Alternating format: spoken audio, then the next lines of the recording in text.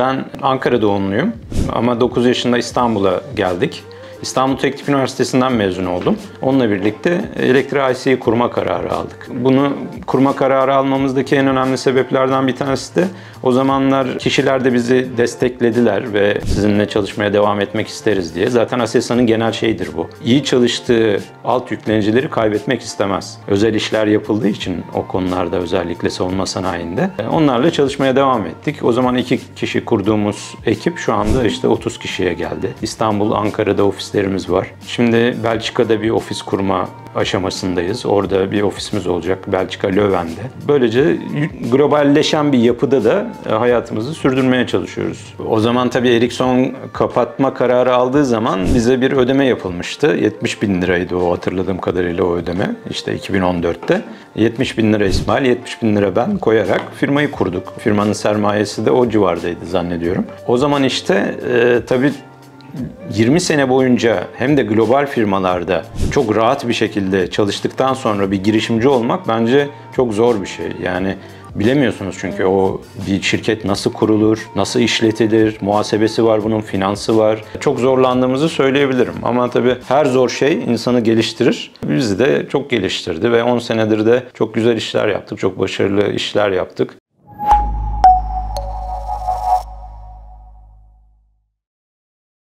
Ben Ankara doğumluyum ama 9 yaşında İstanbul'a geldik. Babamın işi vesilesiyle.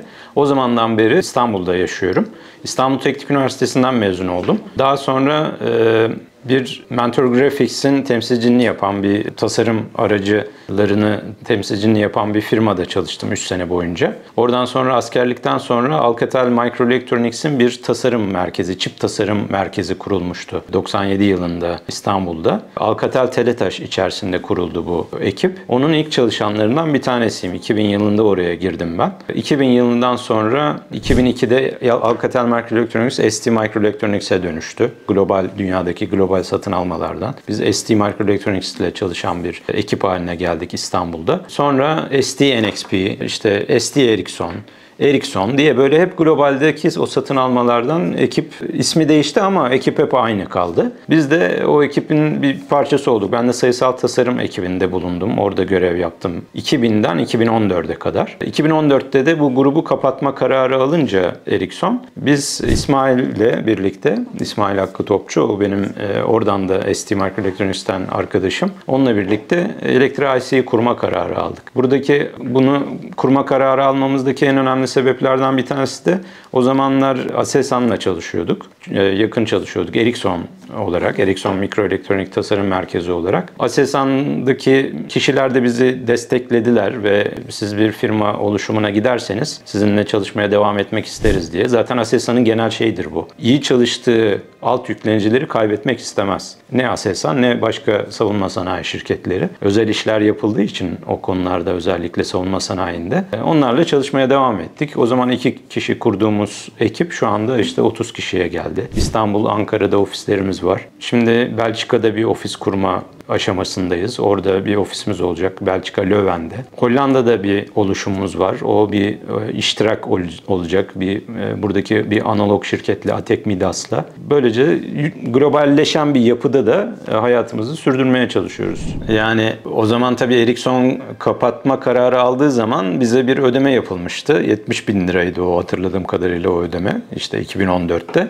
70 bin lira İsmail, 70 bin lira ben koyarak firmayı kurduk. Firmanın sermayesi de de o civardaydı zannediyorum. O zaman işte e, tabii 20 sene boyunca hem de global firmalarda çok rahat bir şekilde çalıştıktan sonra bir girişimci olmak bence çok zor bir şey. Yani Bilemiyorsunuz çünkü evet. o bir şirket nasıl kurulur, nasıl işletilir, muhasebesi var bunun, finansı var, işe alımı var, İK'sı var. Telefonlara bile siz bakmanız gerekiyor. O te- ofisin temizliği bile var. E bunların hepsiyle sizin ilgilenmeniz gerekiyor. Tabii çok zor bir, süreç. Yani bir şirketin sıfırdan kurulup onun hayata geçmesi, işlemesi, müşterileri memnun etmeniz, çalışanlarınızı memnun etmeniz filan. Çok zorlandığımızı söyleyebilirim. Ama tabii her zor şey insanı geliştirir. Bizi de çok geliştirdi ve 10 senedir senedir de çok güzel işler yaptık. Çok başarılı işler yaptık. Birçok işbirliği imkanı yarattık. E, yurt dışında olsun, yurt içinde olsun. İyi bir marka yaratabildiğimizi düşünüyorum 10 sene içerisinde. Bundan sonraki amacımız da onu daha da iyileştirmek. Türkiye'de iyi bir marka olarak bilinen Elektra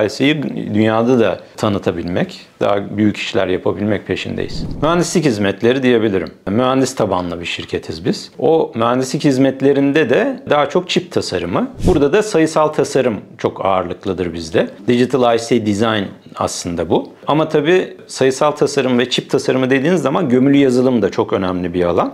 O yüzden gömülü yazılım da bizim için bir e, ana alanlardan bir tanesidir. Embedded software diye geçiyor İngilizce'de. Bunun dışında tabii bu çipler burada bizim yaptığımız şeylerden örnekler de var. Bu tasarımları gerçekleştirdiğimiz zaman bu çipler böyle havada uçmuyor. Geliyor böyle bir kartın üzerine şey yapıyor, oturuyorlar. Bu kartın tasarımını da sizin yapmanız gerekiyor. Bunu da yapabilen kabiliyete sahibiz biz içimizde. Yani özetle aslında şöyle diyebilirim. Sayısal tasarım mühendisleri çalışır bizde. Digital design mühendisleri e, gömülü yazılım mühendisleri ve kart tasarımı yapan mühendisler bizim yani işimizde çalışır. Siz evet, hepsini. ürünü tamamen Tabii. sizden çıkıyor. Bu mesela sıfırdan müşteriyle konuştuğumuz radar sistemlerinde kullanılan bir karttır bu. Rigid Flex Rigid bir kart bu. Kompleks bir kart. Bunun üzerinde de bir FPGA var. Field Programmable Gate Array bu. Tekrar tekrar programlanabilen çipler bunlar. Bunun tasarımını da biz yapıyoruz. İlla FPGA olması gerekmiyor tabii.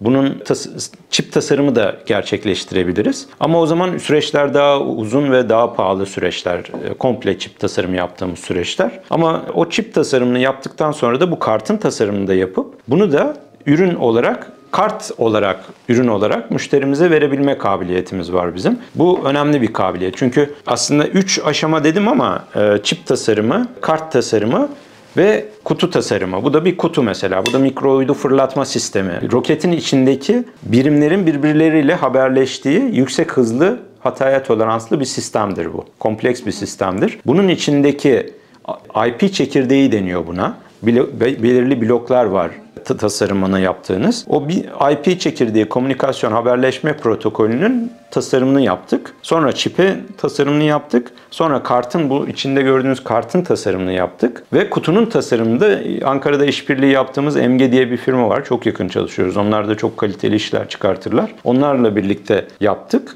e, ve teslim ettik ve çalışan bir üründür bu. Şimdi de uzaya gidecek. Evet güzel bir soru. Böyle bir mesela şu ürünün e, herhalde 2 sene civarındadır tamamlanması. Yaklaşık 10 kişilik bir ekip yaptı bu ürünü. Farklı seviyelerde tabii. İşte gömülü yazılımı var, sayısal tasarımcıları var, kart tasarımı yapan insanlar var, mekanik tasarımı yapan insanlar var. Böyle bir ürünün o yüzden çok kolay değil tabii sıfırdan yapılması. Burada ODTÜ ile de çalıştık. ODTÜ'deki Ece Güran Schmidt diye bir profesör var. Onunla araştırma kısmını yaptık. Bu tabii araştırmadan gelip de geliştirme, ARGE diyoruz ya araştırma, geliştirme. Bu ürün gerçekten hem araştırmanın yapıldığı, o protokolün seçildiği, komünikasyon protokolünün seçildiği hem de geliştirmenin de yapıldığı ki elimde tutabiliyorum işte geliştirme kısmının nihai sonucu bu. Bunu da yapabildiğiniz bir ürün. Böyle baktığınız zaman bu tür çalışmalar çok niş bir alan ve çok niş yetkinlikler gerektiriyor. Biz de bunların hepsini yapabilme kabiliyeti olduğu için o yüzden çok sağlam bir ekibimiz olduğunu söyleyebilirim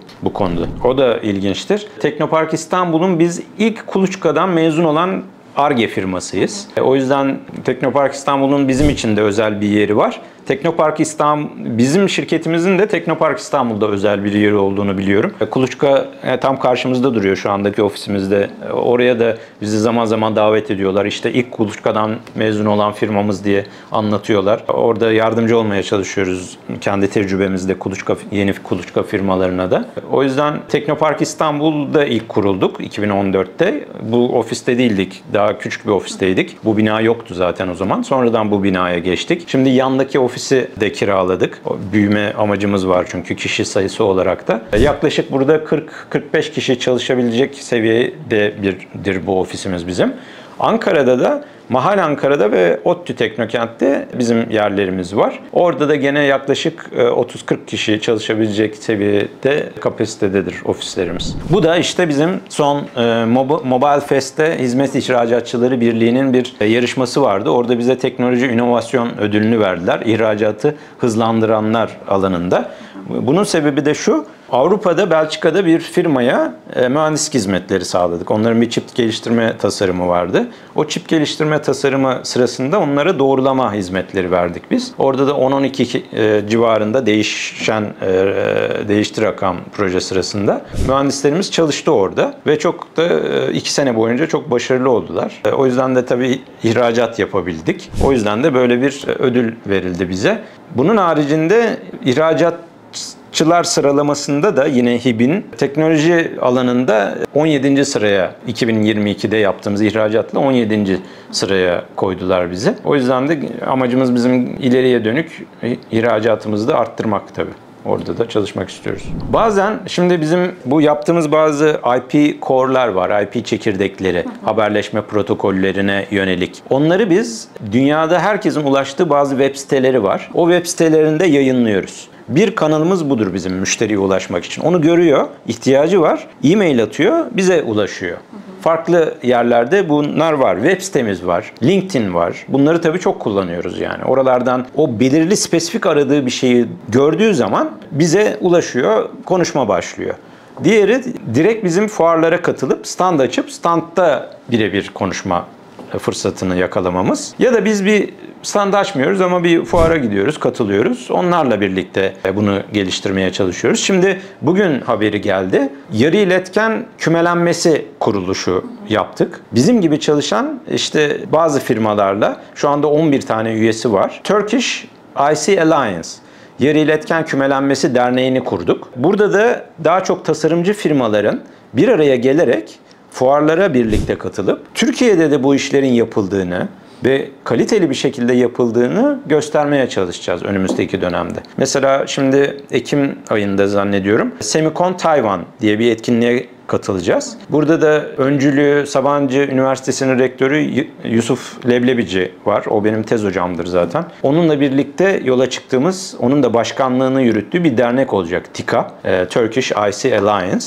Böylece Türkiye'de bu işi, bizim gibi bu işi kaliteli bir şekilde yapan firmalarla güç birliği yaparak kendimizi tanıtmaya çalışacağız ve Türkiye'ye tabii tanıtmaya çalışacağız. Bu işlerin Türkiye'de de yapılabildiğini, e, ileri seviyede yüksek kaliteyle yapılabildiğini beraber anlatar, anlatarak yapmaya çalışacağız önümüzdeki dönemde de. İşe alıyoruz. E, bir projeye atanıyor mühendisler. Orada çalışmaya başlıyoruz. Ama tabii esas projeyi yaparken tanıyorsunuz mühendisi ve bu işe uyup uymadığını ve zor işler bunlar. Uyup uymadığını o proje sırasında anlıyorsunuz. Çok böyle yolları ayırmamız gereken e, kişilerle de oldu yani. Ya bizim yüzümüzden bizi sevmediler ya biz onları uygun görmedik. E, sonra dedik ki 2015 yılından beri de biz eğitimler vermeye de başladık bu alanda. Yaptığımız işlerle ilgili İngiliz bir firma var Doulos. Doulos çok kaliteli eğitimler sağlayan bir firmadır. Amerika'da, Avrupa'da, Japonya'da eğitimler verir. Gömülü yazılım, e,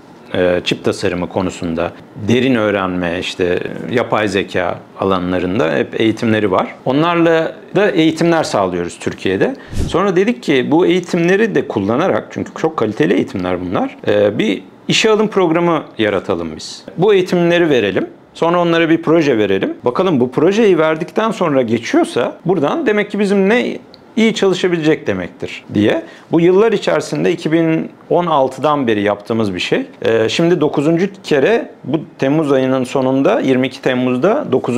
İAC Akademi başlıyor. Buraya başvuran adaylar arasından elemeler yapılıyor. Yaklaşık işte 5-10 e, kişi arasında bir aday mühendisle başlıyoruz. 8 haftalıktır bu program. Web sitemizde de detayları vardır. Bir videosu var hatta. Melike Hanım bizim mühendislik müdürümüz. Aynı zamanda şirket ortağı. O yürütür, koordine eder bu işi. E, İK departmanımızla birlikte koordine eder. Orada da işe alımı böyle bir nasıl diyeyim sayısal tasarım komando eğitiminden geçirerek yapıyoruz aslında. Çünkü bu zor bir süreç. Oradan geçip mezun olabiliyorsa adaylar işe alınıyorlar. Onun öncesinde işe alınmıyor ama. Ama tabii aldığı eğitimler, o süreç ona gene çok şey katıyor. Oradan elenip de başka firmaya gidip giren çok mühendisimiz var yani. Çok da iyi yerlere gelmiş. Yurt dışına bile gitmiş mühendisler var. Orada bizim baktığımız şey tabii sadece teknik değil. Bizim ekibe de uygunluğuna, karakterine, şirketin o karakterine de uygun mu değil mi onu da gözlemleyebiliyoruz o 8 hafta boyunca. Çok çok başarılı bir program olduğunu söyleyebilirim. Marka tescili yapılmıştır. Telif hakları bize aittir o programın. Bunu da her sene gene yapmaya çalışıyoruz. Yani bu hem aslında yeni mezun olan o çok parlak mühendislere bir fayda hem de bize de bir fayda. Hem de müşterilerimize de bir fayda. Çünkü ülkeye de bir fayda. Çok kaliteli eğitimlerle, kaliteli bir ekiple burada. Mentorları da işte İsmail Bey, Melike Hanım, buradaki bizim kendi mühendislerimizle çalışma fırsatı buluyorlar. Çok kaliteli bir şekilde o 8 haftada neredeyse 1-2 senelik o tecrübeyi 8 haftada onları yoğun bir programla kazandırıyoruz. Ama zor tabii. Hafta sonları bile gelip çalışmaları gerekiyor o programı bitirip geçebilmeleri için. O yüzden zaten komando eğitimi diyorum. Globalleşme ve ürünleşme bizim en önemli hedeflerimizden iki tanesi diyebilirim. Biz genelde genelde değil miyim her sene yapıyoruz. Sene sonu toplantıları yapıyoruz bütün ekiple, bütün şirketçe. Orada bu sene konuştuğumuz en önemli iki konudan bir tanesi globalleşmeydi. Bu da işte Tegra IC firmasını kuruyoruz mesela Atek Midas'la birlikte Hollanda'da hem analog tasarım hem RF IC tasarımı hem MMIC tasarımı, sayısal tasarım, gömülü yazılım çok geniş bir portföyde hizmet verebilen bir mühendislik firması Tegra IC. Onunla pazarlamaya çalışacağız yaptığımız işleri Avrupa'da ve Amerika'da tabii ki. Diğeri de ürünleşmek. Bu da nasıl olacak? Bizim bir 5G projemiz var. 5G ile ilgili radyo unit geliştiriyoruz. Radyo ünitesi. Orada çalışan yaklaşık 10 kişilik bir ekibimiz var. Onunla da işbirliği yapmaya çalışıyoruz Türkiye'de bu konuda e, çalışan firmalarla birlikte. E, fuarlara da katılıyoruz. Mobile World Congress mesela Barcelona'da da düzenlenir her sene. Şimdi ona katılacağız önümüzdeki dönemde. Ocak ya da Şubat ayındaydı zannediyorum Mobile World. Burada da kendi ürünümüzü geliştirmek ve o ürünü de raftan satabilir hale gelmek önemli hedeflerimizden bir, bir tanesi ileriki dönemde. Bir de tabii mühendislik hizmetlerimiz var. Onu da üçüncü, onu hep yaptığımız iş. Bir müşteri geliyor bize, şunu şunu yapmak istiyorum. Bunu benim için yapar mısın diyor. Onu da gene yapıyoruz. Öyle teklifler, teklif istekleri geliyor bize. Onları da cevaplıyoruz ve geri dönüyoruz. Her zaman yaptığımız iş olduğu için. Ama ileriye dönük baktığım zaman onu zaten yapacağız. O konularda zaten çalışacağız. Ama esas bizi ileriye dönük geliştirecek şeylerden bir tanesi hem globalleşen bir firma olmak, işte Belçika'daki ofisimizin işler hale gelmesi, ürün sahibi olmak, Bunlar bizi başka yerlere, başka denizlere yelken açmamızı sağlayacaktır diye düşünüyorum. Biz Microsoft partneriz. Ee, Microsoft partner olduğumuz için Microsoft'un ürünlerini de kullanıyoruz içeride çok yoğunlukla. Orada da iç süreçlerimizde ne bileyim Copilot diye bir şey var. Belki görmüşsünüzdür. Microsoft bunu şu anda çok promote ediyor. O Copilot'ı kullanıyoruz mesela içeride. Dynamics 365 diye bir ürün var. Bütün satış süreçlerimizi, iş geliştirme süreçlerimizi onunla yönetiyoruz. Onun içinde de Copilot var. Size nasıl yardımcı oluyor bu? Bir şeyi bir müşteriyle ilgili bir şey sorduğunuz zaman onunla ilgili her şeyi dökebiliyor böyle bir sistem. Ve sizin bilgiye hatırlamıyorsunuz mesela ne konuştuğunuz o bir o bir kişiyle. Ona sorduğunuz zaman o bilgiler size anında geliyor. Şunu şu zamanda konuşmuştun. Konu buydu. Özetini çıkartıyor filan. Böyle iç süreçleri geliştiren yönde uygulamaları kullanmaya gayret ediyoruz tabii ki. Ee, öte yandan yapay zeka ile bir proje yapmakla ilgili neler yapıyorsunuz derseniz bununla ilgili de en son Avrupa Birliği'ne Chips Act diye bir şey var Avrupa Birliği'nde. Bu çip geliştirme ile ilgili ekosistemin geliştirilmesine yönelik destekler sağlıyorlar Avrupa Birliği. Burada da Chips Joint Undertaken diye bir kümelenme var. Oraya biz liderliğini yaparak AI Ready Connected Device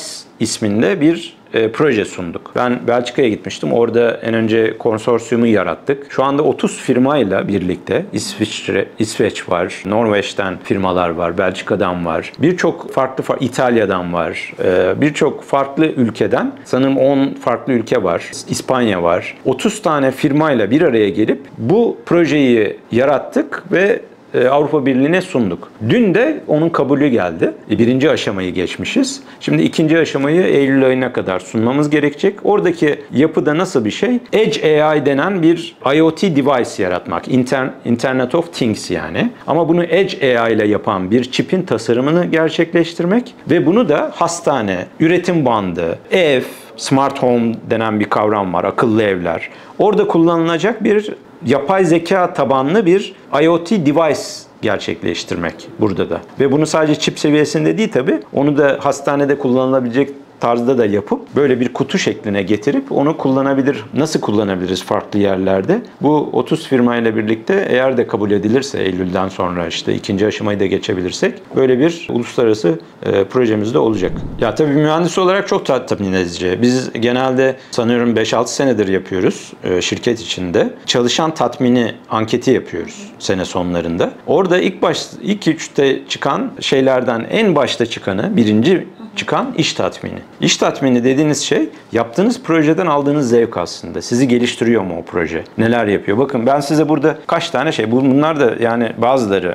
örnek olsun diye getirdiğimiz şeyler. Bu işte demin gösterdiğim PLC kartla ilgili yaptığımız ürün. Bu radar sistemleriyle, bu uzayla ilgili yaptığımız ürün. Bu savunma sanayine geliştirdiğimiz ufak bir kart. Buradaki tasarımların hepsinde çalışabiliyor mühendislerimiz bizim. Ve proje değişiyor uygulama alanı değişiyor. Bu da iş tatminini tabii üst seviyeye çıkartıyor. Bir projede öğrendiğini diğer projede kullanabiliyor. Yeni yeni projede yeni şeyler öğrenebiliyor. Bu tabii bizim mühendislerimizi o kadar hızlı geliştiriyor ki o zorlanmak çünkü hep aynı şeyi yapsanız tecrübe kazanırsınız ve üstüne yavaş yavaş koyarsınız. Bir yerde de o satürasyona girer doygunluğa ulaşır. Bizde öyle bir şey yok. Doygunluğa ulaşmamız bizim mümkün değil çünkü müşterimiz değişiyor habire bizim. Müşterimizin yaptığı iş değişiyor. Böyle olunca da iş tatmini hep üst seviyede oluyor. E ben de böyle yani bu şirketi yönetenlerden bir tanesi olarak bunları karşımda gördüğüm zaman ekibimde tabii gurur duyuyorum. Çok güçlü ve bilgili bir ekip bizim ekibimiz. Çok farklı alanlarda çalışabilen,